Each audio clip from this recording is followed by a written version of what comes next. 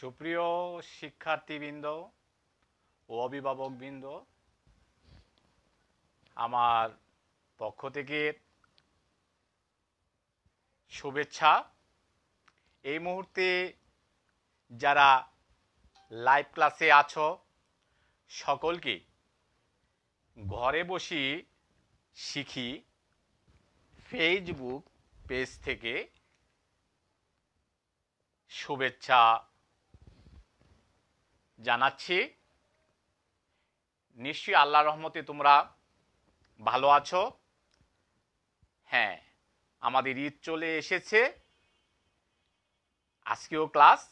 হ্যাঁ আমরা এরই মাঝে আমরা ঈদের প্রস্তুতির সাথে সাথে আমরা ক্লাসটি উপভোগ করব আজকে। তোমরা যারা লাইভ ক্লাসে আছো, সকলেই খাতা কলম নিয়ে বসে পড়ো। আজকে ঝটপট করে আমরা তোমরা জানো যে আমি আজকে এই ঘরে বসে শিখি ফেসবুক পেজ হতে, প্রাথমিক গণিত বিষয়ে পঞ্চম শ্রেণির শতকরার উপরে আমরা যোগ্যতা ভিত্তিক এবং অনুশীলনী নয়ের প্রশ্নগুলি আমরা তুলে ধরছিলাম এবং বুঝতে চেষ্টা করছি। যাই হোক বন্ধুরা হ্যাঁ আমি কাজী মোহাম্মদ মহসিন প্রধান শিক্ষক, মাধবপুর লাখপুর সরকারি প্রাথমিক বিদ্যালয় মনোহরদি থেকে আমি ক্লাসটি উপস্থাপন করছি। তো চলো বন্ধুরা, আমরা কথা না বাড়িয়ে আমরা খুব দ্রুত কাজে চলে যাই। তারপর না হয় আমরা একটু মজা করব। তো চলো বন্ধুরা, যে এই সমস্যাটি তোমরা তোমাদের বইয়ের সাত নং যে অনুসরণী নয়, নিরানব্বই পৃষ্ঠা, সেখানে এই সাত নংটি শেষের দিকে আছে, লক্ষ্য করো যে একটি দোকানে দুই হাজার আটশো, অর্থাৎ আঠারোশো টাকার পণ্য বিশ পার্সেন্ট কমে বিক্রয় করা হলো। পণ্যটির বিক্রয় মূল্য কত ছিল?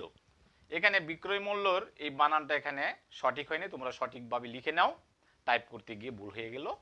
যাই হোক, এখানে এই সমস্যাটিতে যদি লক্ষ্য করো, যে একটি দোকান, আমরা কি যে কোনো পণ্য কি ক্রয় করতে গেলে আমরা কোথায় যাই? দোকানে যাই। বাজারে যেসব দোকান আছে, আমার বাড়ির আশেপাশে দোকান আছে, তাই না বন্ধুরা? তারা কি করে? বিভিন্ন ধরনের পণ্য ক্রয় করে। হ্যাঁ ধরো যে আমরা একটি মোবাইল সেট কিনলাম। হ্যাঁ নর্মাল মোবাইল সেট আঠারোশো টাকা দিয়ে কিনলাম। সেই মোবাইল সেটটি মনে করো যে বিশ পার্সেন্ট কমে বিক্রয় করল। পণ্যটির বিক্রয় মূল্য কত ছিল? হ্যাঁ দেখি।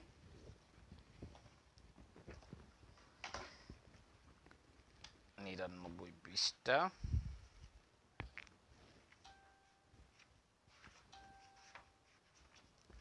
সরি বন্ধুরা, একটু হ্যাঁ তোমরা খাতায় উঠিয়ে নাও।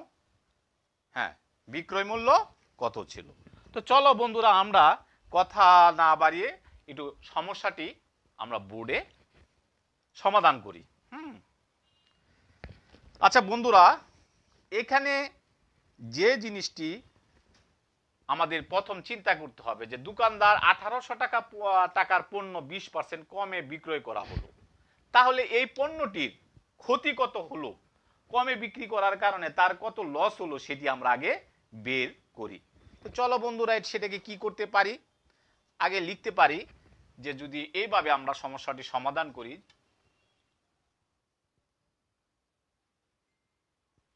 পণ্যটি ক্ষতি হয়। দেখা যাচ্ছে কত? আঠারোশো আঠারোশো টাকার।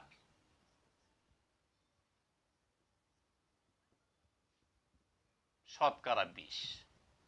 তাহলে আমরা এটাকে বলতে পারি আঠারোশো এর এক শতভাগের বিশ। ব্রেকের দিয়া টাকাটা এখানে নিয়ে গেল। দেখো বন্ধুরা এক শতভাগের আঠারোশো গুণ আমরা বিশ দিয়ে দিলাম। বিশ একে বিশ, পাঁচ বিশ, একশো। তাহলে আমরা পাঁচ দিয়ে পাঁচ একে পাঁচ, তিন পাঁচা পনেরো, থাকে কত? তিন। তাহলে পাঁচ, ছয়, ত্রিশ। দেখো বন্ধুরা, এখানে আমাদের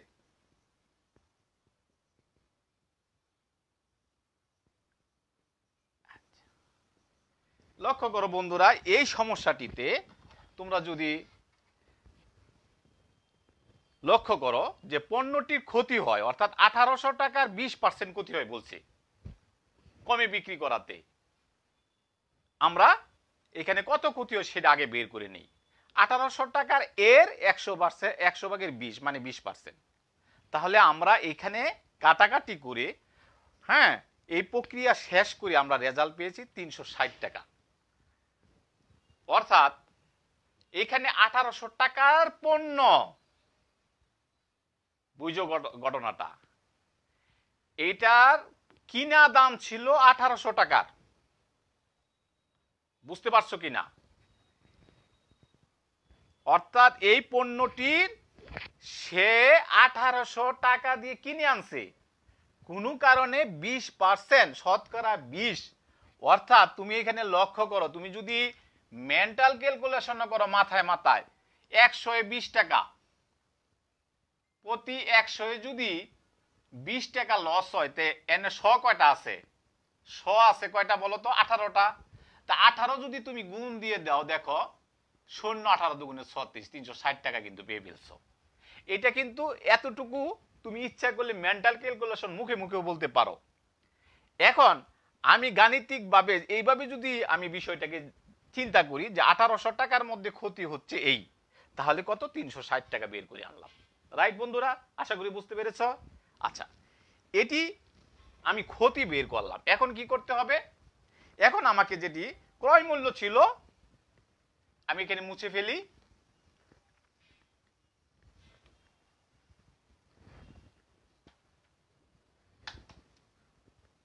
ক্রয়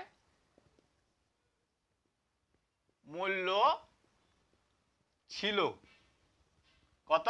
আঠারোশো টাকা। দেখো, এটা এখানে আছে। ক্ষতি হয়। ক্ষতি হয় হলো তিনশত ষাট টাকা। তাহলে আমার কি করল? বিক্রয় মূল্য কত ছিল? বিক্রয় মূল্য হ্যাঁ আমার কি করব এটা? বিয়োগ দিয়ে দিব। চার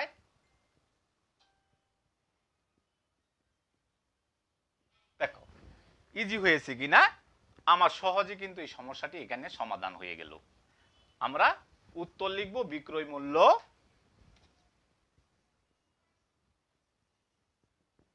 চোদ্দশো টাকা। আশা করি বন্ধুরা বুঝতে পেরেছ।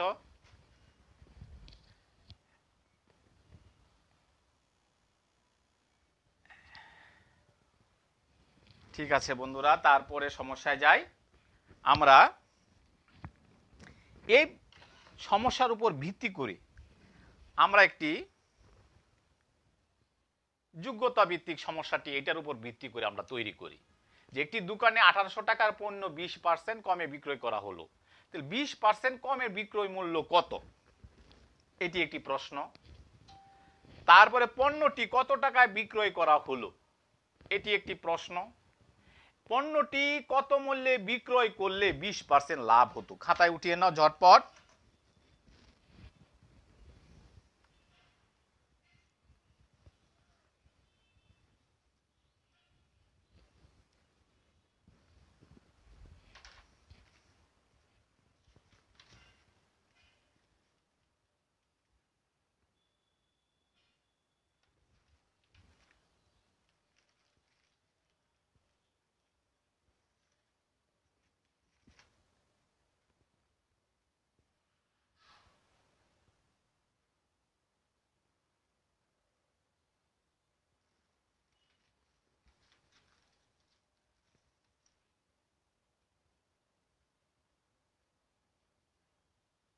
ঠিক আছে উঠিয়ে নিয়েছ। চলো বন্ধুরা আমরা শুরু করি।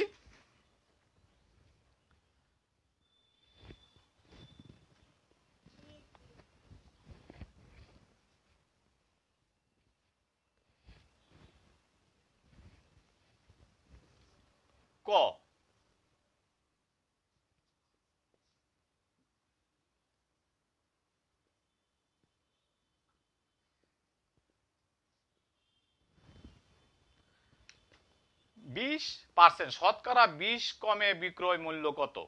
আচ্ছা বন্ধুরা, আমরা কখন বিক্রয় করব? যখন আমরা কোনো জিনিস কিনবো, অর্থাৎ ক্রয় করব, এখানে ক্রয় না করে বিক্রয় করতে পারি না। হ্যাঁ আরেকটা পদ্ধ- পদ্ধতি আছে কি? আমার যদি কোনো জিনিস উৎপাদন করি উৎপাদন করি, উৎপাদন করতে গেলেও এখানে কিন্তু কিছু বিষয় আছে। এখানে অনেক কিছু খরচ করতে হয়। এখানে যদি ইন্ডাস্ট্রি হয়, তার বিভিন্ন ধরনের বিষয় এখানে আছে, ঠিক তাই না? তাহলে অর্থাৎ আমরা যে কোনো পণ্য তৈরি করি বা বিক্রয় করি, যেভাবে করি না কেন, তার ভিতরে একটি ক্রয় মূল্য শব্দটি আসছে। অর্থাৎ প্রথম, এই জিনিসটার জন্য একটি মূল্য নির্ধারণ হয়।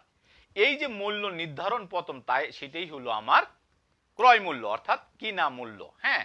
এখন বি, ওই মূল্যে যদি তুমি শতকরা বিশের কথা চিন্তা করো, নিশ্চয়ই সেখানে একশো টাকা ক্রয় মূল্য ছিল। তাহলে আমরা কি লিখতে পারি? বিশ পার্সেন্ট ক্রমে। আমরা এখানে লিখব, শতকরা বিশ কমে দিয়ে একটা কমা দিয়ে আমরা লিখতে পারি ক্রয় মূল্য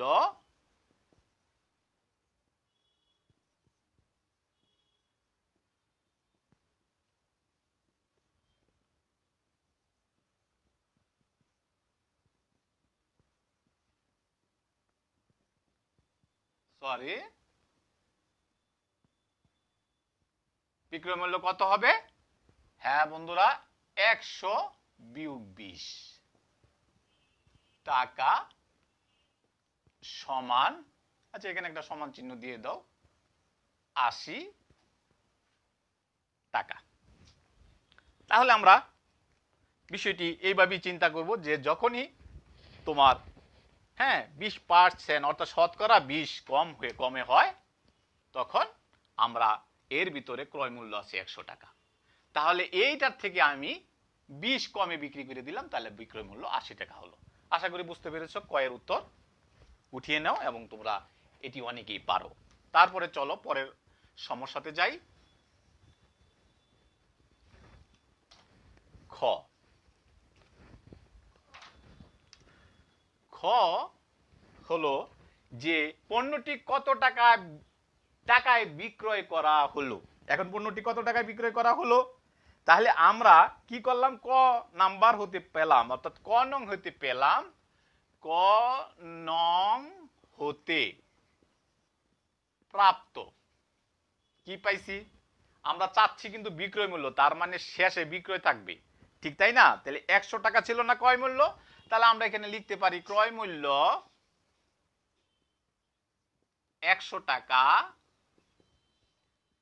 হলে বিক্রয় মূল্য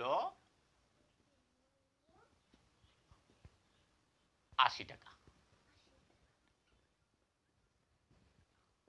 হ্যাঁ অতএব ক্রয় মূল্য এক টাকা হলে বিক্রয় মূল্য বলো। হ্যাঁ লিখে ফেলো। অবশ্যই তোমরা বুঝতেছ এবং পারতেছ। যদি কোনো বন্ধু না বুঝে থাকো, আমাকে কমেন্টে জানাবা।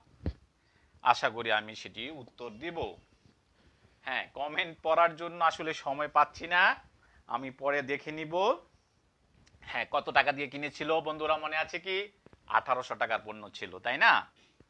হ্যাঁ আঠারোশো টাকা ছিল না? হ্যাঁ বন্ধুরা, আঠারোশো টাকা। এখন এই আঠারোশো টাকার যে বিশ পার্সেন্ট কমে বিক্রি করাতে তার বিক্রয় মূল্য কত ছিল? আমরা তো শুধু বিশ পার্সেন্ট কিন্তু এই মূল্যের বেলা বিশ পার্সেন্ট কত টাকা আসছে সেটি কিন্তু আমরা এখনও জানি না। এটি এক- এই সমস্যার মূল বিষয় যে এটি আমাকে জানতে হবে। তাহলে এখানে একশো দিয়ে যদি আমি গুণ করি, একশো একে একশো, আর এখানে একবার যাবে আঠার মানে আঠারোশো। হ্যাঁ? তাহলে এখানে কত আসলো? শূন্য আর চৌষট্টি, হাতে ছয়, আট একে আট আর ছয়, চোদ্দ। অর্থাৎ চোদ্দশো চল্লিশ টাকা। এখানে এই যে চোদ্দশো চল্লিশ টাকা তোমার বিক্রি করল, এতে বিশ পার্সেন্ট কম হয়েছে। আঠারোশো টাকাতে। দেখো কীভাবে, সত্যি না মিথ্যা? হ্যাঁ ওই যে চোদ্দশো চল্লিশ টাকা বিক্রি করল। তাহলে ক্ষতি হয়েছিল কত? তিনশো ষাট টাকা। যোগ করো। বিশ পার্সেন্টে হ্যাঁ দশের শূন্য, চার, এই যে দেখো আঠারোশো টাকা। এই আমার মূল দামটা পেয়ে গেলাম। হ্যাঁ তো এই জন্য আমি এটা আবার প্রমাণও করতে পারি যে সমস্যাটা আমার হয়েছে কি না, আমি কিন্তু নিজে শিওরও হইতে পারি। যদি এটার মৌলিক বিষয়গুলো, মৌলিক ধারণাগুলা তোমরা বুঝতে পারো যে আমি ক নং হতে পেয়েছি, ক্রয় মূল্য একশো টাকা হলে বিক্রয় মূল্য আশি টাকা।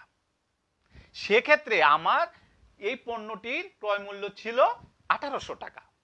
বন্ধুরা, এই আঠারোশো টাকা যে কিনলো দোকানদার, সে বিক্রি বিশ পার্সেন্ট কমে বিক্রি করার কারণে সে কিন্তু ওই ক্রেতার কাছে সে চোদ্দশো চল্লিশ টাকা সে বিক্রি করে ফেলছে। এইটা এই খ নাম্বার সমস্যা জানতে চাইছে, এইটা আমরা বের করলাম। কিন্তু বন্ধুরা, এটি চোদ্দশো চল্লিশ টাকা কারেক্ট হইল কিনা উত্তর তোমার যদি একটু চিন্তা করো যে আমার ক্ষতি হয়েছিল কত? বের করতে পারি। কীভাবে?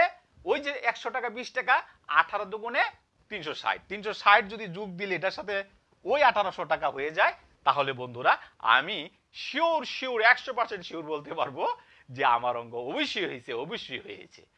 আশা করি বুঝতে পেরেছ? হ্যাঁ বন্ধুরা, আমরা গ নাম্বার সমস্যা চলে যাও। অবশ্যই উঠিয়ে ফেলেছ। হ্যাঁ আমি একটু মুছে ফেলি।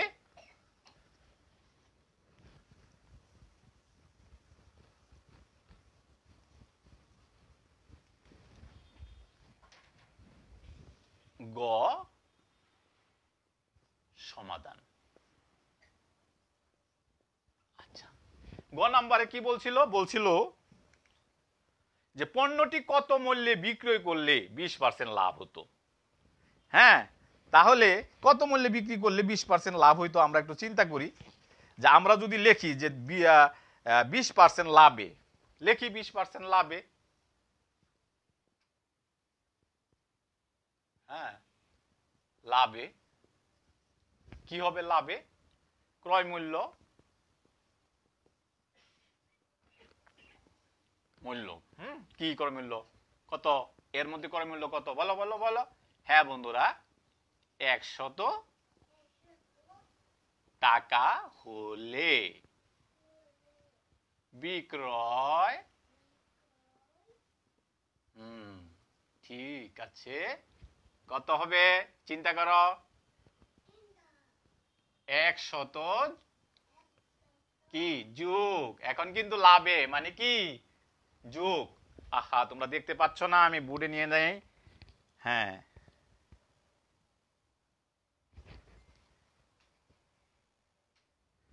হ্যাঁ। একশত বিশ। টাকা একশত বিশ টাকা। ভেরি গুড আচ্ছা বন্ধুরা, অতএব ক্রয় মূল্য এক টাকা হলে বিক্রয় মূল্য এক শতভাগের একশো বিশ। আচ্ছা বন্ধুরা, পণ্যটির দাম জানি কত ছিল একটু মনে করো? আঠারোশো টাকা। হ্যাঁ এখন এই আঠারোশো টাকার জিনিসটি যদি লাভে বিক্রি করতো, কত লাভে? একশোর মধ্যে বিশ। তাহলে একশো ভাগের বিশ, আর হলো একশত বিশ গুণ কত? হ্যাঁ বন্ধুরা। হ্যাঁ। এখন কাটাকাটি করে ফেলো, হুম? তো চলো বন্ধুরা একশো কে একশো, এখানে আঠারো হবে। আঠারোশো হবে। ঠিক তাই না? মানে সহজে আমরা এটা কাটাকাটি করে ফেলতে পারি। এখন আমাদের এখানে কি করতে হবে? দুটি সংখ্যা গুণ করতে হবে। আমরা এখানে একটু হিসাব করে নিই, তাহলে আমাদের ভুল হবে না। কি করব? আঠারো আর হলো বারো। হ্যাঁ কত? আট দুগুণে ষোলো। হ্যাঁ অর্থাৎ ছত্রিশ। আট, এক। ছয় দুইশো ষোলো। তাহলে দুইশো ষোলো শূন্য। অর্থাৎ একুশশো ষাট টাকা। বিশ পার্সেন্ট লাভে বিক্রয় করলে একুশশো ষাট টাকা লাভ হতো। উত্তর। হুম, একুশশো ষাট টাকা। আচ্ছা বন্ধু, এটা একটু প্রমাণ করি যে সত্যি বিশ পার্সেন্ট লাভ হয়েছে কিনা। আমরা কি করব এখানে? বন্ধুরা, এই যে একশো টাকায় যদি বিশ টাকা হয়, তাহলে আঠারোশো টাকা, তাহলে আঠারোশো, আঠারোশোটা কি আছে? একশো আছে। বিশ দা গুণ দেই, তাইলে কত হবে? হ্যাঁ ছত্রিশ, তিনশো ষাট। তিনশো ষাটের হ্যাঁ আর আঠারোশো যোগ দেই। দেখো, এগারোর এক, এই যে দাও একুশশো ষাট টাকা, দেখছ? এই যে দেখো, একুশশো ষাট টাকা। তার মানে আমরা এটি এভাবে চিন্তা করতে পারি, আমার সমস্যাটি হয়েছে কি হয়েছে না। আমরা কিন্তু এটা প্রমাণও করতে পারি। তাহলে আশা করি বুঝতে পেরেছ? আচ্ছা বন্ধুরা। ঠিক আছে? হুম, মুছে ফেলি? অবশ্যই অনেকে করে ফেলেছ, আমি তোমাদের কমেন্ট দেখতে পাচ্ছি না। অনেকেই আছো। আজকে শোয়েব সন্ধ্যা হ্যাঁ তোমরা আছো কি না দেখতে পাচ্ছি না, কারণ দেখতে গেলেই সময় চলে যাবে।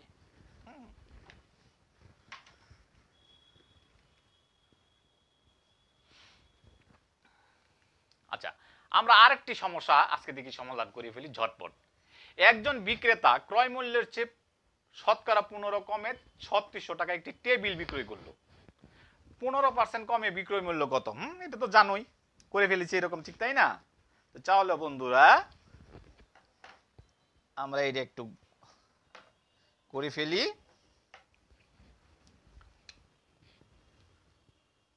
ক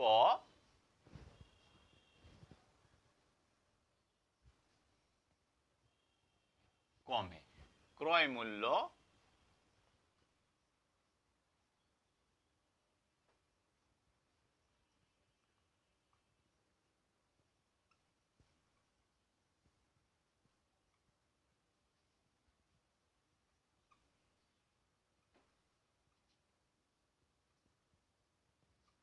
কি করব হ্যাঁ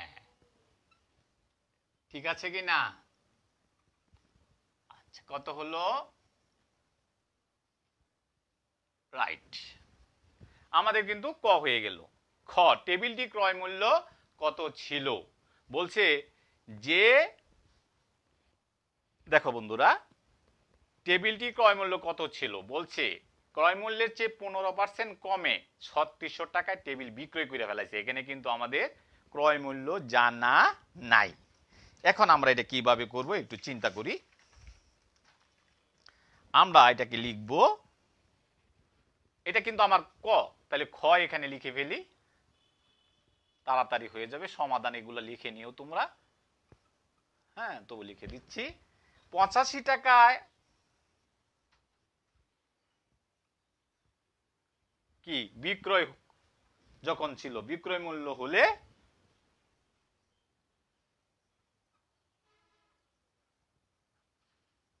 মূল্য হলে ক্রয় মূল্য কত বলতো? এটা একটু উল্টা ভাবে চিন্তা করি। ক্রয় মূল্য একশো টাকা। এক টাকা ক্রয় মূল্য কত বলো? পঁচাশি ভাগে একশত টাকা। অতএব আমাদের বিক্রয় মূল্য কত বিচ্ছে? ছত্রিশশো নাই না? ছত্রিশশো টাকা বিক্রি করছে। হ্যাঁ বিক্রি করল। এখন এর মধ্যে আমরা দেখব কি হলো। ছত্রিশশো। হ্যাঁ তা আচ্ছা এখানে আমাদের কি করতে হবে? আমাদের কাটাকাটি করতে হবে। আমরা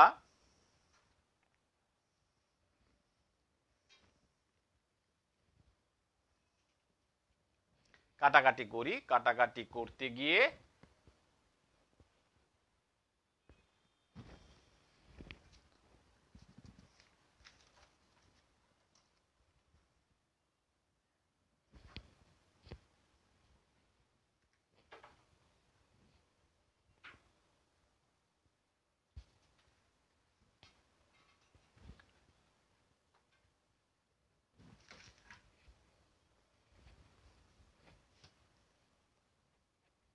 পাঁচ, বিশ, একশো। পাঁচ, একে পাঁচ থাকে হলো পঁয়ত্রিশ, পাঁচ সাতা, পঁয়ত্রিশ। এখন সতেরো দিয়া এটা কাটাতে হবে সতেরো দুগুণে বত্রিশ।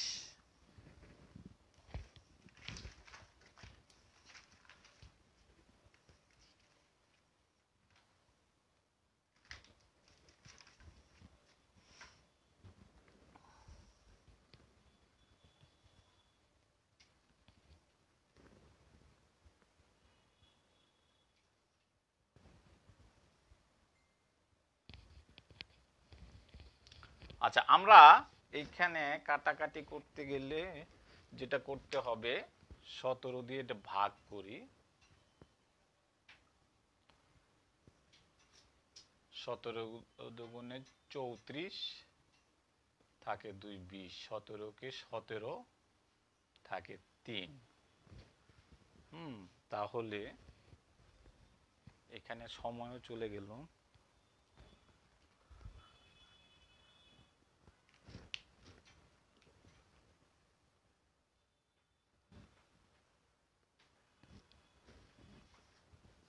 আচ্ছা বন্ধুরা, এটি আমাদের এইভাবে তোমরা কাটাকাটি করে সমাধান করে নিবে, কারণ সময় চলে গেছে আর সময় নেই আমার, নির্ধারিত সময় শেষ। পরে এটি আমি সমাধান করে দেখাতে পারলাম না। তোমরা এটি আমাকে সমাধান করে দেখাবে। এখানে কাটাকাটি করলে যেটা আসে সেটা হবে ক্রয় মূল্য। তারপর যে ফলটা আসবে সেটিকে তোমরা লিখবা যে এতটি চেয়ারের মূল্য, অর্থাৎ এখানে যে রেজাল্ট হবে এত টাকা, এক দিয়ে বাগ দিলে সেটি আমার গ নাম্বার উত্তর চলে আসবে। অর্থাৎ টেবিটির মূল্য দিয়ে বিশটি চেয়ার কেনা হলো, যেগুলির প্রত্যেকটি বিক্রয় মূল্য পনেরোশো টাকা। তখন আমি কি করব? ওই যে রেজাল্টটা আসবে, সেকে পনেরোশো থেকে বিয়োগ দিব। আচ্ছা আমরা একটা কাজ করি, সহজে এই সমস্যাটি একটু সমাধান করে দেই। এখানে যদি ছত্রিশশো টাকার জায়গায় যদি আমরা লিখি দুই হাজার চারশো টাকা, তাহলে আমি সহজে করতে পারি, কারণ নাহলে এটা ফ্যাকশন হয়ে যাচ্ছে। আমরা এখানে লিখি দুই হাজার সরি বিশ হাজার চারশো টাকা। তাহলে কাটাকাটি করলে যেটা আসবে?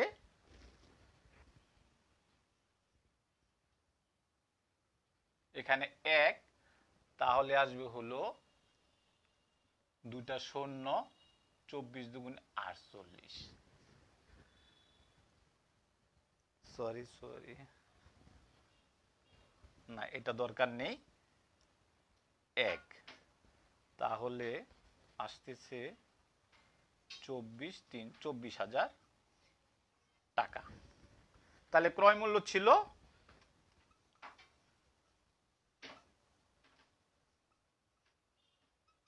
ছিল চব্বিশ হাজার টাকা। আমরা ওই ওয়ান অঙ্কটার ফ্যাকশন হয়ে যাচ্ছে দেখে আমরা এখানে কি করলাম? এখানে আমরা এটা সমাধান একটু সংশোধন করে দিলাম। যেখানে ছত্রিশশো কথাটা আছে, সেইখানে আমরা লিখে দেই, এখানে আমরা লিখে দেই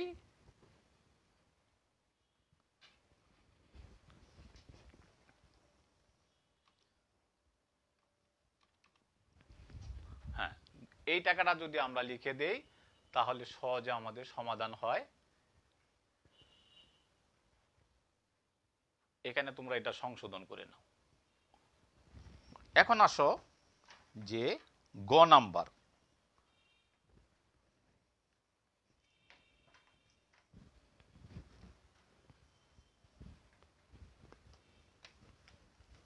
শেষ করে দিচ্ছি এক মিনিটে।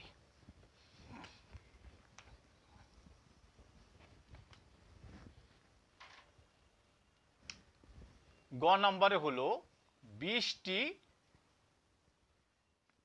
চেয়ার হ্যাঁ চেয়ারের মূল্য চব্বিশ হ্যাঁ চব্বিশ হাজার টাকা। একটি চেয়ারের মূল্য চব্বিশ হাজার বাঘ হলো বিশ। টাকা। টাকা, তাহলে আমার কত আসতেছে? এটার অর্ধেক আসবে বারোশো টাকা। তাহলে কি? চেয়ার প্রতি কত লাভ হলো? ক্রয় মূল্য ছিল। অতএব চেয়ার প্রতি লাভ হলো পনেরোশো। হ্যাঁ।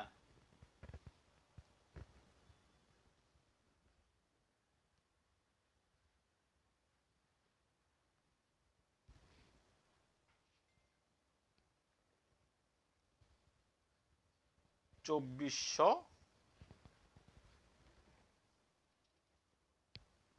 বারোশো।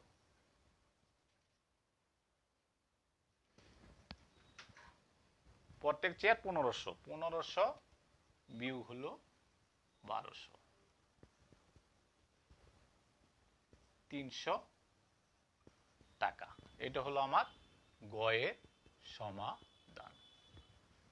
আশা করি বুঝতে পেরেছ? তাহলে তোমাদের একটি বাড়ির কাজ দিয়ে সমস্যাটি শেষ করি। ঈদ উপলক্ষে দোকানদার পূর্ব মূল্য চাইতে বিশ পার্সেন্ট কমে চৌষট্টিশো টাকা একটি টেবিল বিক্রয় করল। ক্রয় মূল্য থেকে বিক্রয় মূল্য এবং বিক্রয় মূল্য থেকে ক্রয় মূল্য বেশি হলে কি হবে? টেবিলটির ক্রয় মূল্য কত ছিল? যদি টেবিলটি দশ হাজার টাকায় বিক্রয় করতো, তাহলে শতকরা কত লাভ বা ক্ষতি হতো? তো আমরা শেষ করি আজকে। তো তোমরা সকলেই ভালো থেকো, সুস্থ থেকো এবং অগ্রিম ঈদের শুভেচ্ছা জানিয়ে এই ঘরে বসে শিখি এই পেজ থেকে আমি বিদায় নিব। তো তার আগে বলে রাখছি যে ঈদের সময় তোমরা অবশ্যই নিজেকে কি রাখবে? ভা মানে সুস্থ থাকার জন্য যেন ছুটাছুটি না করো, বেশি মানুষের সাথে না মিশো হ্যাঁ ঘরেই যেন থাকো। আর যদি কোনো কারণে বাইরে যেতে হয়, যেন মাস্ক পরে যাও এবং বাইরে থেকে এসে গোসল করবে, হাত ডুবে এবং স্যানিটাইজার ব্যবহার করবে। এই বলে আমার আজকের ক্লাস শেষ করছি। ধন্যবাদ সকলকে।